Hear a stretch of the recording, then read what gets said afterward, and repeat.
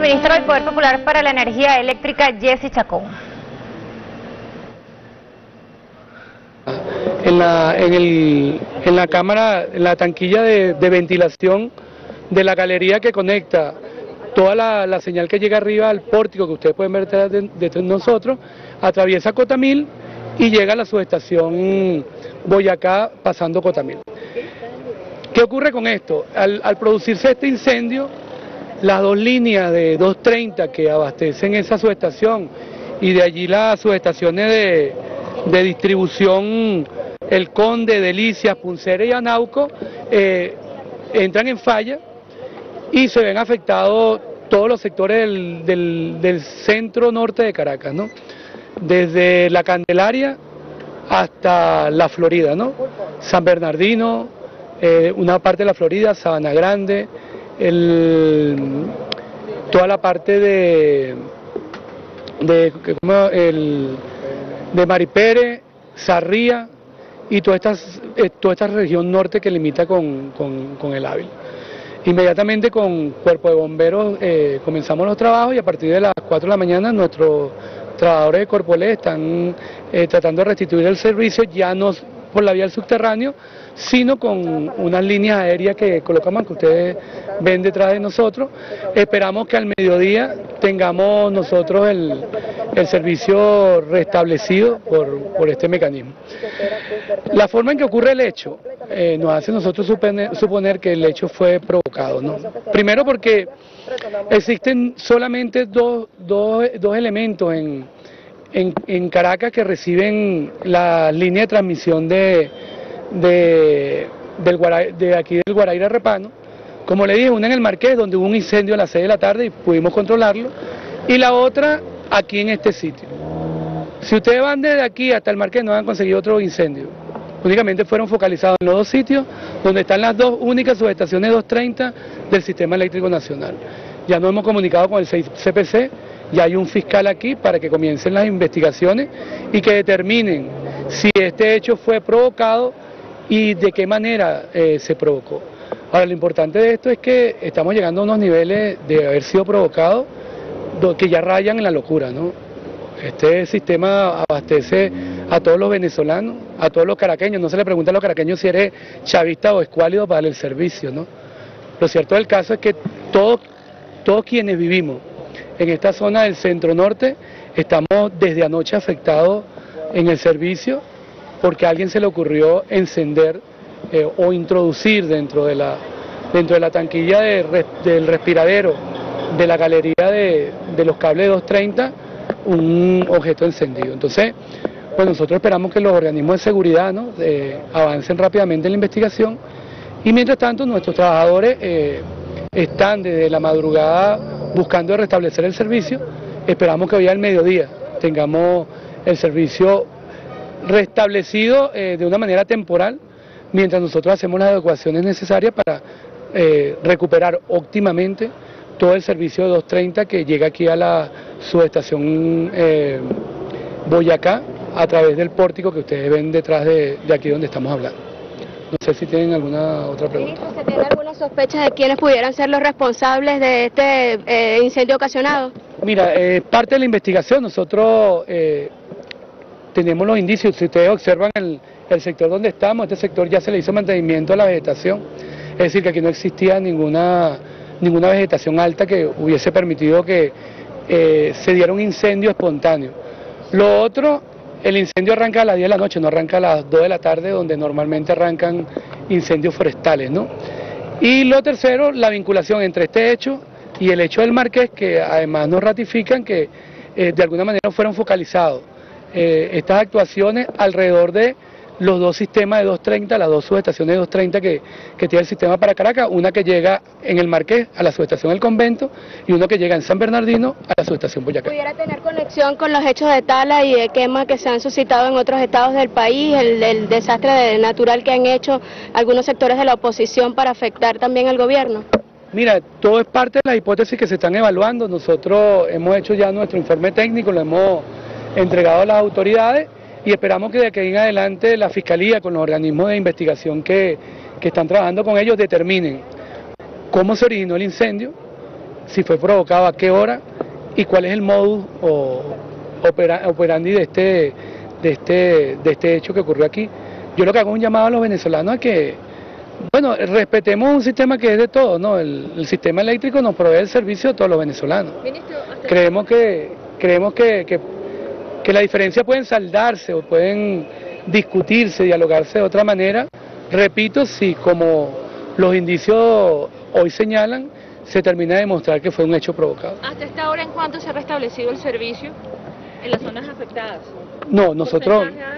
No, porque el, ¿qué pasa? Como ya eh, afectamos cuatro subestaciones, necesitamos recuperar la, la, la, línea de 230, que es la que vamos a recuperar antes de las 12, y en ese momento comenzaremos a recuperar. Los sectores que están afectados del centro norte de Caracas, eh, que están afectados desde anoche, todos siguen estando afectados porque la alimentación, que es la que nos permite de alguna forma eh, cargar los circuitos de distribución, aún no la hemos logrado porque es esta línea de 230 que ahora vamos a, tirar a. ¿Se va a tomar carga de otro estado, de, Miranda, para...?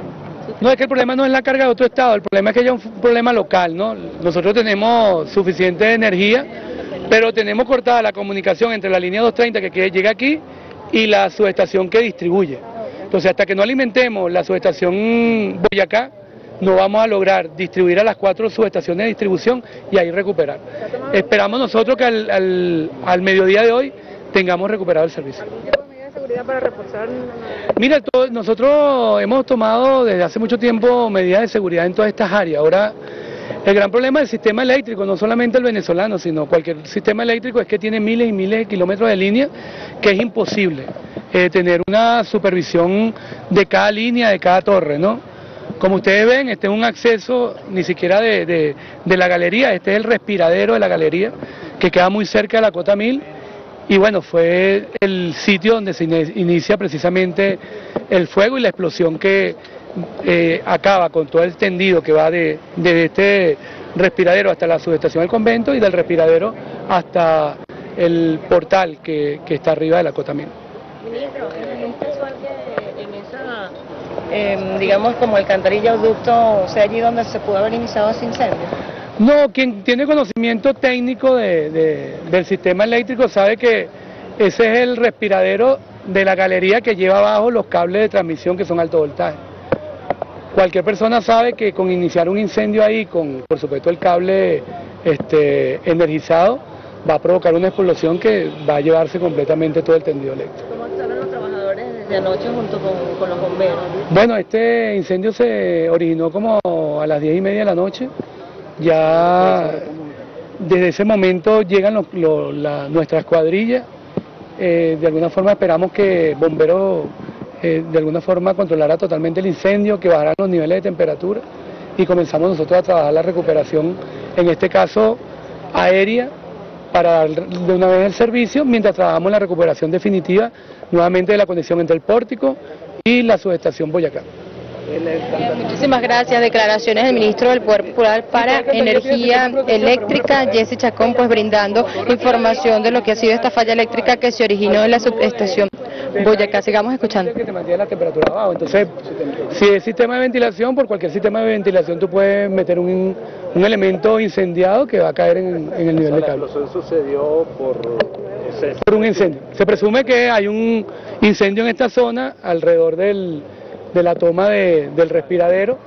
Entra de alguna manera un elemento eh, incendiado dentro eh, o, encendido dentro del respiradero, cae abajo sobre, sobre los conductores y ahí, que están energizados, en el momento que me imagino ellos comienzan a agarrar eh, el fuego, se produce la explosión que vuela la tanquilla de arriba y produce también una voladura en la tanquilla de abajo. ¿no? Ahí están las fotos, se la, los técnicos se la pueden entregar. Ministro, luego de restablecido la situación normalizada la misma, ¿hay alguna medida de seguridad que van a tomar para que no vuelva a suceder la, la, situación? Mira, nuevamente, las medidas de seguridad se están tomando. El problema es que tú tienes miles y miles de kilómetros de línea que es imposible que todas de alguna manera tengan, no sé, un guardia por poste, ¿no?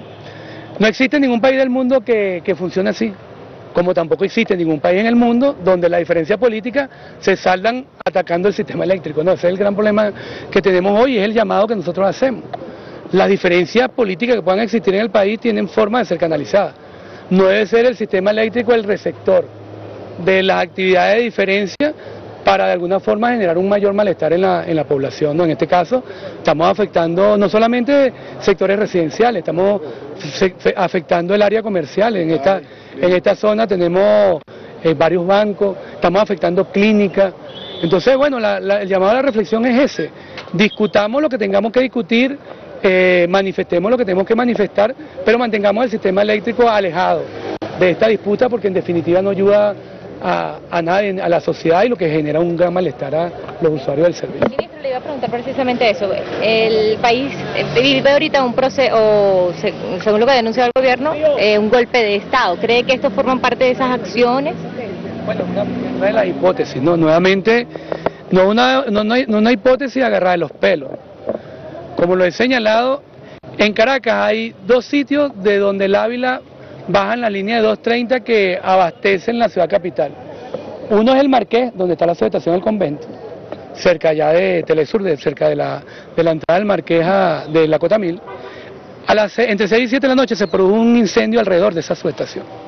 Ese lo logramos controlar con bomberos y no hubo un incendio de los ductos, eh, o mejor dicho, de los conductores, que afectara el servicio. Pasadas cuatro horas se produce un segundo incendio. Si ustedes se pueden ir aquí de Cotamil, desde este sitio hasta el Marqués y no han conseguido otro incendio. Solamente ese en el Marqués, al lado de la subestación del convento, y este aquí en San Bernardino, al, eh, al lado o encima del respiradero de la galería que comunica los cables de 230 que bajan del pórtico que viene de, del Ávila y llega a la subestación del convento que está eh, al cruzar precisamente eh, esta zona en, el, en, en, en la Cotamil. Entonces esos, esos dos hechos son un indicio de que todo esto pudo haber sido provocado. ¿Quiénes lo tienen que determinar? Bueno, no somos nosotros porque no, somos no tenemos las herramientas técnicas para ello. Y aquí entiendo que está la Fiscalía, está el 6CPC y son los llamados a conectar estos dos hechos, a ver eh, qué ocurrió, cuáles fueron las causas y cuál es el motivo, ¿no? Porque en definitiva cuando ocurre algo de esto, ¿cuál es el motivo? Por supuesto que subyace alrededor de todo esto lo que estamos viviendo nosotros aproximadamente desde hace un mes, ¿no? Hemos tenido también problemas en, otro, en otros sistemas, ¿no? Este no es el único incendio que ha tenido el sistema eléctrico nacional, ya no intentaron incendiar la, la, subestación de San Cristóbal, tuvimos corte de línea en, en Bolívar, tuvimos incendio de más de 20 unidades en, en Carabobo, tuvimos corte de conductores en Anzuati, entonces no es un hecho aislado. Lo que quiero decir es que hay detrás de todo esto una serie de indicios que nos hacen suponer a nosotros que este hecho también pudo ser provocado. Muchas gracias. Bien, muchísimas gracias. Declaraciones del ministro del Poder Popular para Energía Eléctrica, Jesse Chacón, entonces daba cuenta de esta falla eléctrica que aproximadamente desde ayer a las 10 y 30 de la noche se produjo acá en, la, en el centro norte de la ciudad de Caracas. Hablaba de que posiblemente pudo haber sido provocado por sectores pues desestabilizadores. Sin embargo, ya se encuentran trabajando en las investigaciones el 6CPC, así como también las fiscalías que han hecho acto de presencia acá a la subestación Boyacá, ubicada en San Bernardino. Nosotros, por supuesto, estaremos acá llevándole todos los detalles. Dice que este tipo de eventos pues se han suscitado en otras regiones del país, por lo que no se descarta algún tipo de provocación o sabotaje por sectores pues que estarían intentando desestabilizar así también el sistema eléctrico. Importante información también del ministro Chacón, hablaba que en horas del mediodía pudiese estar totalmente restablecido el servicio eléctrico en las zonas afectadas, pero le recordamos pues que se maneja la tesis de que este incendio fue provocado. Las investigaciones en curso, nosotros estaremos llevándole por supuesto toda la información. Con esta importante información regresamos a los estudios de Venezolana de Televisión. Adelante.